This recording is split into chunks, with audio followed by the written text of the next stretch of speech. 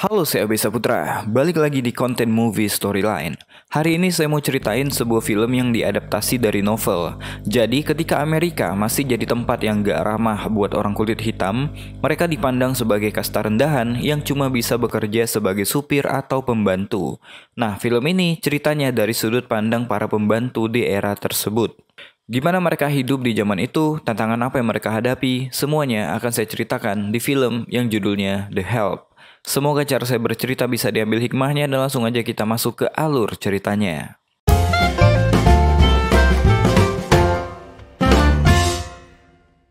Mari kita mulai cerita ini di Jackson, Mississippi, Amerika Serikat.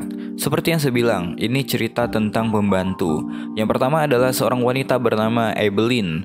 Dia bekerja di rumah seorang wanita bernama Elizabeth. Seorang ibu muda yang bisa dibilang gak terlalu peduli dengan anaknya yang masih kecil. Hampir semua pekerjaan rumah tangga dari beres-beres sampai masak hingga mengasuh anak kecil dilakukan oleh Evelyn. Siang itu rencananya Elizabeth akan mengundang teman-temannya untuk datang ke rumah bermain kartu. Yang kedua adalah Mini, bekerja di rumah wanita bernama Hilly. Mini adalah juru masak yang mantap. Hilly dan ibunya juga Mini siang itu akan pergi ke rumah Elizabeth memenuhi undangan bermain kartu.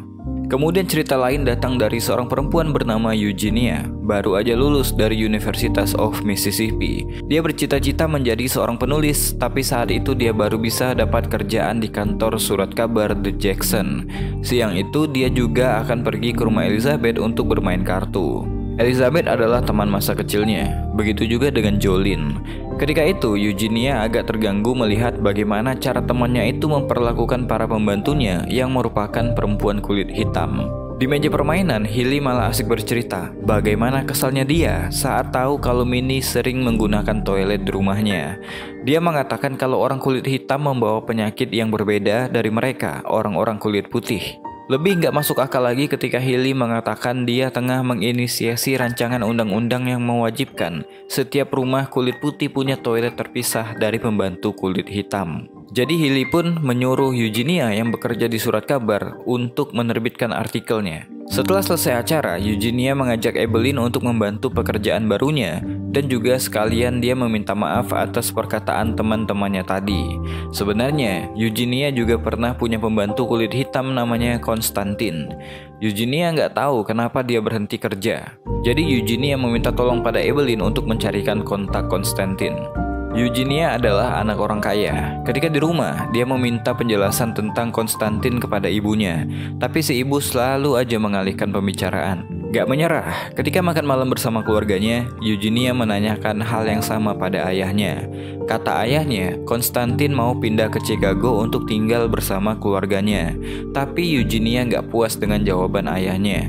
Eugenia lalu menembak ibunya dengan menebak bahwa ibunya pasti memecat Konstantin. Eugenia gak terima karena Konstantin udah kerja selama 30 tahun di rumah itu. Eugenia sayang dengan Konstantin karena dia adalah orang yang membesarkan Eugenia dari kecil. Dibanding dengan ibunya, Eugenia malah lebih dekat secara emosional dengan pembantunya. Walaupun statusnya sebagai pembantu, tapi Konstantin bisa dibilang punya peran sebagai orang tua daripada orang tua Eugenia sendiri. Sebuah ide pun terbesit di benak Eugenia. Di suatu pagi, dia memberanikan diri untuk menelpon seorang penerbit namanya Elaine. Kepada Elaine, Eugenia mengatakan bahwa dia ingin menulis sebuah buku dari sudut pandang para pembantu. Eugenia berkata bahwa para wanita kulit hitam ini membesarkan anak kulit putih dan dalam 20 tahun anak-anak itu akan tumbuh menjadi orang yang sukses di masyarakat.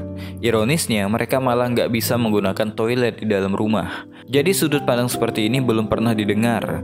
Elaine mengatakan bahwa nggak akan ada pembantu yang mau bicara, apalagi ini adalah Mississippi. Terlalu berisiko buat mereka, kata Elaine. Eugenia pun mengatakan bahwa dia punya pembantu yang akan bicara padanya.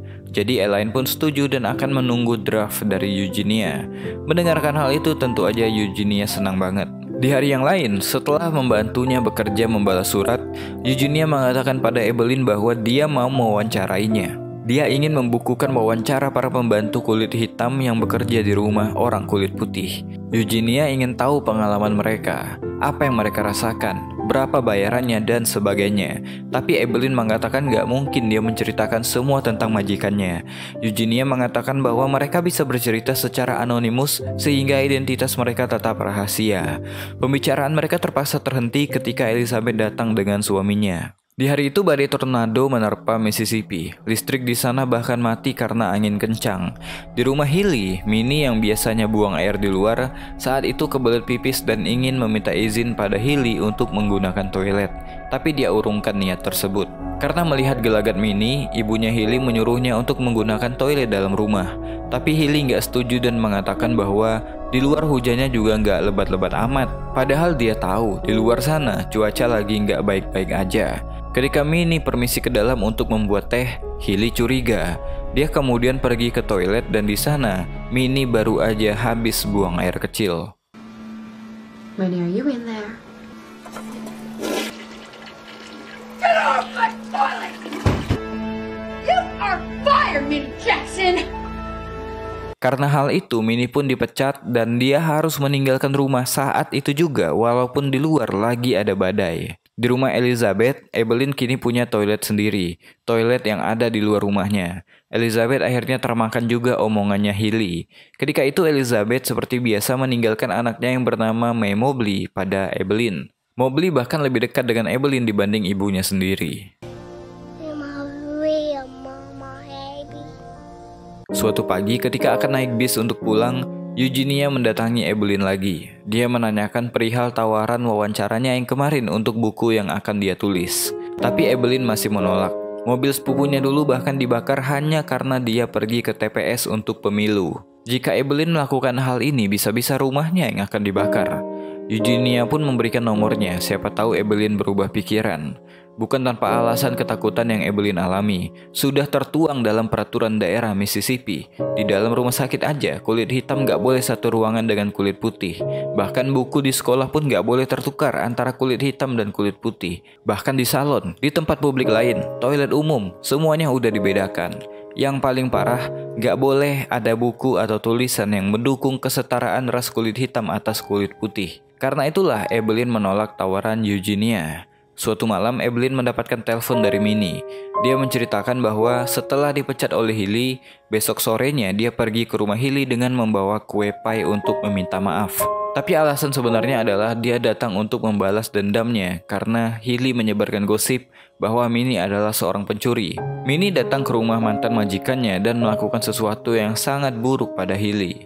Minnie nggak mau bilang bagaimana cara dia balas dendam, tapi dia mengatakan bahwa Hilly layak mendapatkannya. Suatu hari Evelyn tercerahkan dari khutbah pastor di gereja. Pastor itu berkhutbah bahwa sebagai manusia, kita harus bersiap menempatkan diri kita dalam bahaya demi sesama manusia. Seperti yang Yesus lakukan. Jadi dia pun memanggil Eugenia untuk datang ke rumahnya. Tentu aja dengan hati-hati supaya nggak ada yang tahu tentang kedatangannya. Singkatnya wawancara pun dimulai. Beberapa pertanyaan diajukan oleh Eugenia, tapi pada hari itu Evelyn memilih untuk membacakan ceritanya pada Eugenia karena setiap hari dia menuliskan ceritanya di sebuah buku sebagai doa. Eugenia juga bertanya apakah ada pembantu lain yang ingin bercerita. Evelyn berkata untuk saat ini mungkin sulit, terlebih lagi Minnie yang baru aja dipecat. Sementara itu di rumah Hilly, pembantu lain yang bernama Yulmae bekerja menggantikan Mini. Di pagi itu Yulmae mencoba untuk meminjam uang pada Hilly untuk biaya pendidikan anak kembarnya yang mau masuk perguruan tinggi. Kekurangan biaya membuat dia harus memilih siapa di antara mereka berdua yang bisa lanjut sekolah. Untuk itulah dia meminjam uang supaya dua-duanya bisa lanjut kuliah. Bukannya membantu meminjami uang, dia malah menasehati Yulmae untuk berusaha dan mencari uangnya sendiri. Untuk membantu membayar tagihan rumah tangganya, suaminya Mini memaksa anaknya untuk berhenti sekolah supaya bisa bekerja juga sebagai pembantu. Mini pun mengajarkan apa yang boleh dilakukan dan apa yang nggak boleh dilakukan ketika bekerja dengan orang kulit putih. Sedangkan Mini harus melewati hari demi hari tanpa pekerjaan. Sampailah pada suatu hari, dia mendapatkan rekomendasi dari Evelyn tentang wanita kulit putih yang nggak akan termakan omongan Hilly. Seorang wanita bernama Celia. Bertahun-tahun Mini hidup sebagai membantu yang menjunjung tinggi aturan dan batasan-batasan antara kulit hitam dan kulit putih. Tapi Celia nyatanya nggak peduli tentang itu. Dia sangat menyambut baik kedatangan Mini karena ini pertama kalinya dia bisa punya pembantu. Dia ingin Mini bekerja hanya dari jam 9 hingga 4 sore karena dia nggak mau suaminya tahu kalau ada pembantu di rumah. Dia ingin suaminya berpikir dia melakukannya sendiri. Mini pun setuju. Di hari yang lain, Hilly mengadakan pertemuan di rumahnya. Dia mengatakan bahwa inisiasinya tentang pemisahan toilet buat pembantu udah sampai ke gubernur. Dia pun menanyakan perihal artikel inisiasinya kepada Eugenia yang harusnya udah dimuat di koran sebulan yang lalu. Eugenia pun mengatakan bahwa itu akan diterbitkan secepatnya. Setelah pertemuan itu mereka bertiga ngumpul bareng di sebuah kafe. Hilly memberitahu bahwa dia akan mencomblangkan Eugenia dengan seorang pria bernama Stuart. Memang di antara mereka bertiga, cuma Eugenia yang belum menikah. Jadi Hilly dan Elizabeth menyusun rencana untuk kencannya dengan Stuart. Di rumah Hilly, ketika bersih-bersih rumah, Yulmai nggak sengaja menemukan sebuah cincin emas di bawah kursi. Dia pun kemudian mengantongi cincin tersebut karena dia lagi butuh uang. Sementara itu Eugenia masih terus ke rumah Evelyn untuk mencatat ceritanya. Evelyn bercerita bahwa mau beli anaknya Elizabeth setiap malam tidur menggunakan popok dan gak akan diganti sampai Evelyn tiba di rumah saat pagi hari. Itu membuat Mobley tidur dengan kotorannya sepanjang malam. Now Miss Leafall pregnant with a second baby. Miss Leafall should not be having babies. Write that down. Lagi asik ngobrol, Mini pun datang. Kaget dia melihat Eugenia ada di sana. Mini masih sentimen dengan orang kulit putih. Dia mencurigai Eugenia, kenapa repot-repot mau peduli tentang nasib mereka. Eugenia berkata bahwa dia hanya ingin orang-orang tahu apa yang para pembantu ini rasakan. Evelyn mengatakan bahwa dia nggak harus melakukan hal itu pada Eugenia. Jadi Mini pun pergi dari sana. Ketika di luar dia pun berubah pikiran dan masuk kembali. Kemudian setuju untuk bergabung dalam proyek ini. Mini lucu banget, awalnya dia nggak friendly. Tapi ketika dia diajak membicarakan tentang masak-memasak seperti yang dia kerjakan setiap hari, dia nggak bisa berhenti bicara, apalagi jika itu berkaitan dengan Hilly mantan majikannya. Mereka mengobrol hingga pagi hari, bahkan Mini mengatakan bahwa mereka harus mengajak pembantu yang lain untuk bergabung. Dia kemudian keluar mencoba untuk bicara pada mereka. Pada suatu malam, Eugenia datang ke sebuah restoran untuk ngedet bareng seorang pria bernama Stuart dengan dikenalkan oleh Hilly dan suaminya. Tapi karena Stuart berlagak dan agak kurang sopan dalam omongan, Eugenia pun pergi dari sana. Sementara itu di suatu hari, Mini makin betah bekerja tanpa tekanan apa pun di rumah Celia. Mini banyak mengajari Celia tentang cara memasak, dan Celia excited banget karenanya. Celia bahkan gak canggung ketika makan satu meja bareng Mini, walaupun Mini mencoba untuk menyuruh Celia makan di meja makannya sendiri, tapi Celia menolak. I just want you to know I'm real grateful you're here. You guys plenty more to be grateful for than me. Mini mengingatkan Celia untuk memberitahu suaminya tentang kehadirannya di rumah ini. Khawatir kalau suaminya malah menembak mati dirinya jika hal ini ketahuan. Lewat telepon, Eugenia kerap berdiskusi terkait draft buku yang dia kirimkan ke Elaine di New York. Elaine mengatakan bahwa cerita dari dua pembantu ini masih kurang. Paling enggak, Eugenia harus punya selusin pembantu yang mau diwawancara. Hal itu pun disampaikan pada Mini dan Evelyn. Mini mengatakan bahwa dia udah mengajak teman-temannya yang lain, sekitar 30 orang pembantu. Tapi mereka takut dan berpikir ini ide yang gila. Tanpa narasumber yang banyak, buku mereka bisa nggak diterbitkan. Evelyn pun menyemangati Eugenia untuk nggak menyerah. Kemudian dia menceritakan bagaimana anaknya meninggal. Anak Evelyn ditabrak mobil ketika dia membawa barang ke pabrik. Mandor tempat dia bekerja membawanya ke rumah sakit dengan meletakkannya di belakang truk. Ketika sampai, dia meletakkan begitu aja lalu pergi. Gak ada yang bisa rumah sakit itu lakukan, jadi dia dibawa pulang dan meninggal di rumah, tepat di depan mata Evelyn. Jadi jika kau menyerah, apa yang kita tulis bersama selama ini akan mati bersama anakku, kata Evelyn. Di hari Minggu, Hilly mengadakan pesta di rumahnya. Seperti biasa, semuanya hadir. Di satu kesempatan, Eugenia menghampiri Yulmai yang lagi cuci piring di dapur. Dia menawarkan wawancara seperti Evelyn dan Minnie, tapi Yulmai mengatakan saat ini fokusnya adalah menguliakan anaknya. Jadi dia nggak bisa bergabung. Ketika itu Hilly datang. Untungnya belum ada pembicaraan penting yang keluar dari mulut mereka. Hilly kemudian bertanya apakah Eugenia sengaja gak menerbitkan inisiasinya di koran. Kemudian Eugenia berkata bahwa dia hanya sibuk mengurus ibunya yang lagi sakit. Suatu pagi ibunya membangunkan Eugenia karena Stuart, pria yang dia temui minggu lalu, kembali mendatanginya. Kedatangan Stuart kala itu ingin meminta maaf dan mengajak Eugenia untuk ngedate sekali lagi. Ketika makan malam, Stuart bertanya pada Eugenia bahwa dia membaca seluruh artikelnya di koran. Stuart mengatakan bahwa Eugenia berbakat jadi penulis. Jika kau ingin jadi penulis, tulislah apa yang kau yakini. Aku harap kau bisa membuat sesuatu yang bagus, katanya. Eugenia akhirnya menerbitkan artikel inisiasi Hilly tentang toilet terpisah. Ketika membuat ketikan tersebut, Eugenia sengaja mengubah kata-kata di artikel itu menjadi sesuatu yang lain. Sehingga ketika artikel itu terbit, Hilly berang ketika taman rumahnya dipenuhi oleh toilet lama yang gak terpakai. Tentu aja ini jadi awal permulaan permusuhannya dengan Eugenia. Mobley anaknya Elizabeth bahkan sempat buang air di sana. Alhasil Elizabeth marah dan memukuli anaknya di depan umum. Oleh Evelyn, Mobley ditenangkan dan dia berikan Mobley kata-kata positif untuk menghiburnya. You is you is smart, you is important. Di rumahnya, Eugenia dan dua pembantunya menonton berita nasional tentang seorang aktivis kulit hitam bernama Evers berani berpidato memperjuangkan hak-hak sivil. Pada malam hari ketika Evelyn pulang menggunakan bis, tiba-tiba supir menghentikan perjalanan. Orang kulit hitam di bis itu disuruh turun karena di depan mereka ada insiden penembakan yang menyebabkan seorang kulit hitam tewas ditembak. Orang itu ternyata adalah Evers yang ditembak oleh warga kulit putih. Karena hal tersebut, Evelyn harus berlari pulang ke rumah. Evelyn singgah ke rumah Minnie. Mereka khawatir bagaimana dengan nasib mereka jika mereka ketahuan bekerja sama dengan Eugenia membuat sebuah buku. Evelyn berkata bahwa mereka akan berhati-hati. Lagi pula, mereka cuma menceritakan pengalaman mereka, bukan memperjuangkan hak-hak sipil. Di lain waktu, ketika bekerja di rumah Celia, Minnie mendengarkan suara dari atas. Dia pun mengecek Celia di kamarnya dan dari kamar mandi, Celia menyuruh Minnie untuk pulang. Khawatir karena mendengarkan Celia menangis, Minnie pun mendobrak pintu dan didapati kalau Celia ternyata baru aja keguguran. Mini pun mencoba untuk menghiburnya bahwa yang berikutnya pasti akan berhasil. Suatu pagi ketika baru turun dari bis, Yulmai ditangkap polisi atas tuduhan pencurian. Tentu aja Hili yang melaporkannya karena Yulmai kedapatan menggadaikan cincin tersebut di pegadaian. Setelah kejadian itu, Eugenia dipanggil ke rumah Evelyn dan dia kaget. Sudah ada belasan pembantu selain Mini dan Evelyn di sana. Kejadian ditangkapnya Yulmai mengubah pikiran mereka untuk bersedia bercerita pada Eugenia. Mereka pun mulai bercerita. Gak semua orang kulit putih seperti Hilly.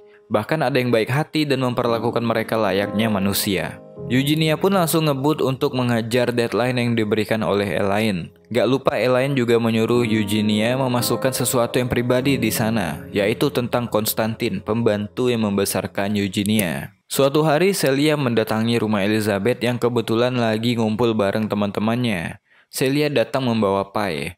Mendengarkan Celia datang, Hilly langsung menyuruh semua yang ada di sana untuk sembunyi dan gak memperdulikan kehadiran Celia. Tentu aja Celia sedih diperlakukan seperti itu. Di rumahnya, Minnie menceritakan bahwa Hilly marah pada Celia karena Celia menikahi mantan pacarnya yaitu Johnny. Hilly mungkin berpikir bahwa Celia merebut Johnny darinya sehingga mereka putus. Padahal Celia bukanlah perebut pacar orang lain. Di kesempatan itu Celia notice kalau ada luka di pelipis Mini. Dia tahu Mini adalah korban KDRT. Sehingga dia mencoba mengobati luka pembantunya itu. Cuma di rumah ini, pembantu diperlakukan seperti manusia, bukan sebagai budak. Karena situasi kulit hitam dan kulit putih makin menggila, mereka bertiga pun mengadakan rapat. Mereka juga khawatir bagaimana jika identitas mereka di buku itu ketahuan. Masalah apa yang mereka akan dapatkan. Jadi Bini pun mengatakan bahwa mereka perlu jaminan untuk jaga-jaga. Mini pun menceritakan rahasia terbesarnya ketika setelah dia dipecat. Dia memberikan sebuah pie coklat buatannya pada Hilly. Hilly memakan pie coklat itu dengan lahap. Dua potong dia makan.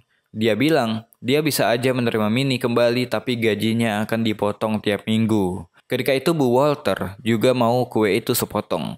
Tapi Mini mencegahnya memakan pie tersebut. Hilly pun dengan kasar menyuruh Mini memotong kue itu untuk ibunya. Karena kesal, Mini pun akhirnya buka-bukaan tentang resep rahasianya. Eat my shit. What'd you say? I said, eat my shit. Because you just did.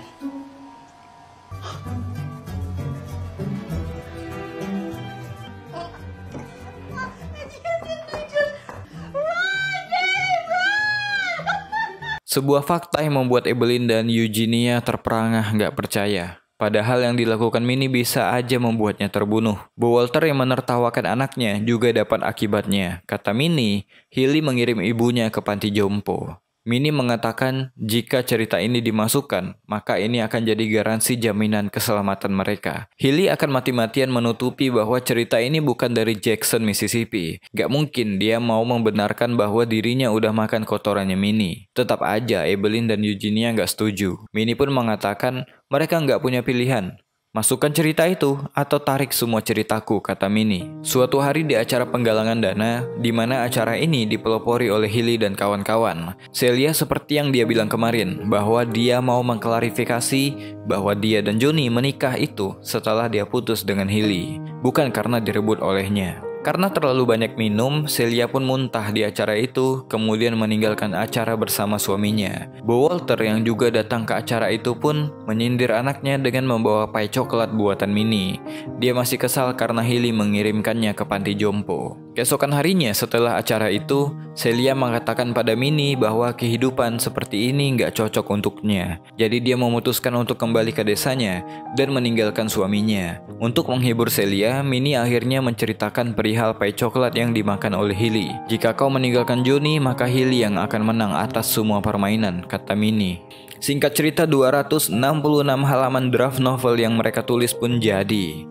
Tapi kata Eugenia, masih ada satu cerita lagi yang belum dimasukkan, yaitu cerita tentang Konstantin. Jadi sekali lagi dia menanyakan hal itu pada ibunya, apa yang terjadi? Bagaimana Konstantin bisa berhenti bekerja? Jadi ceritanya ketika itu si ibu terpilih menjadi ketua sebuah organisasi untuk chapter Jackson, Mississippi. Pelantikan itu dilakukan di rumahnya dan didatangi langsung oleh ketua pusat. Ketika jamuan makan, Rahel anaknya Konstantin datang untuk menjenguk ibunya. Tapi karena malu dia pun menyuruh Rahel untuk masuk lewat pintu belakang.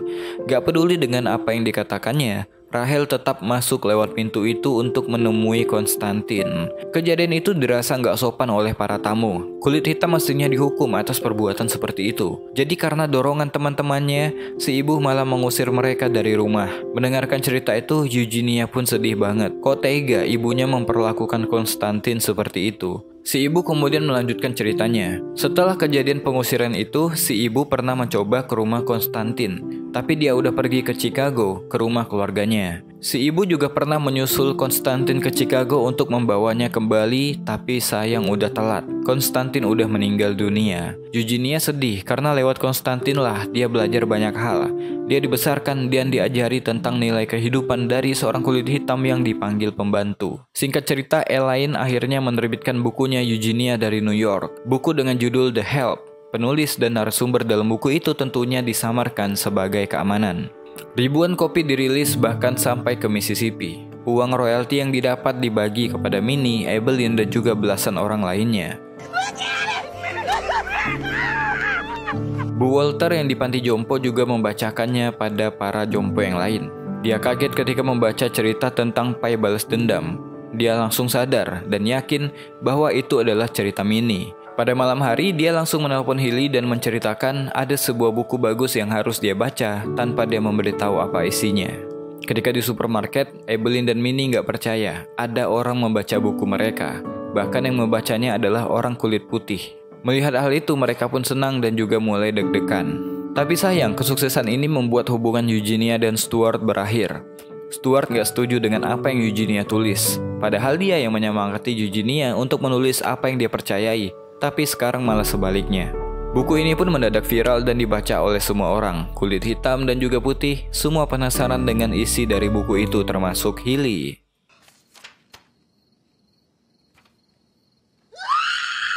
Seperti yang dipikirkan Mini bahwa Hilly akan mati-matian membela kalau buku itu bukan mengisahkan pembantu di Mississippi. Suatu pagi, Hilly mendapati kiriman cek dari Celia.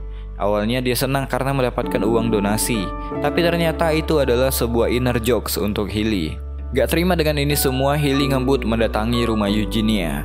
Dia langsung mengatakan dia akan menuntut Eugenia karena dia udah menyewa pengacara. Tapi Eugenia mengatakan bahwa Hilly gak akan bisa membuktikan apa pun walaupun Hilly yakin itu adalah bukunya Eugenia. And that nigger Minnie. Do I have plans for her? That's chapter 12. Don't give yourself away now. That was not me! Karena kesal, Hilly mau memberitahu ibunya Eugenia tentang ini. Tapi nggak disangka Eugenia malah mendapatkan pembelaan dari ibunya yang membuat Hilly nggak bisa berkata apa-apa selain menelan kekesalan untuk dirinya sendiri.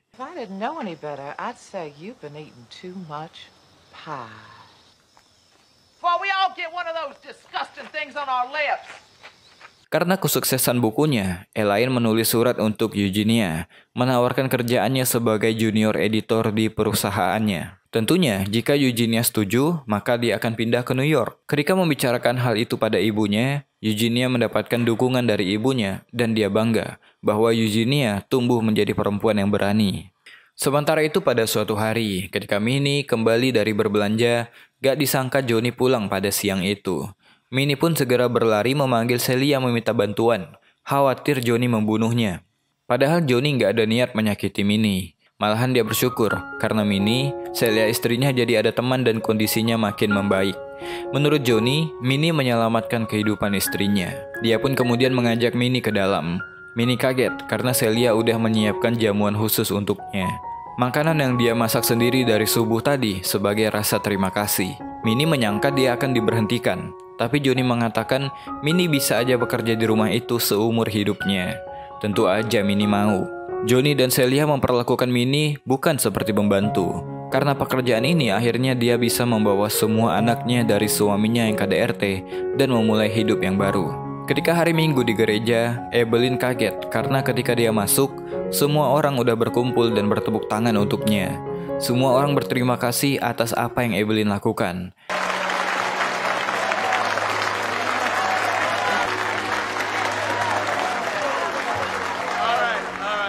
Semua orang menandatangani buku itu sebagai rasa terima kasihnya pada Evelyn. Eugenia juga terharu melihat buku itu akhirnya menjadi buku yang bermanfaat. Di kesempatan itu, dia menceritakan tentang tawaran kerja di New York. Rencananya, Eugenia akan menolak karena khawatir dengan keselamatan Evelyn dan juga Minnie atas apa yang udah mereka lakukan. Tapi Minnie dan Evelyn menyuruhnya pergi karena mereka akan saling menjaga satu sama lain. Mereka menyuruh Eugenia untuk mencari kehidupan yang lebih baik di New York. Di lain hari, ketika datang bekerja, Evelyn dipanggil oleh Hilly yang pagi itu ada di sana. Dia menuduh Evelyn mencuri sendok dan garpu yang dia pinjamkan kepada Elizabeth. Tentu aja ini adalah sebuah tuduhan yang mengada-ngada.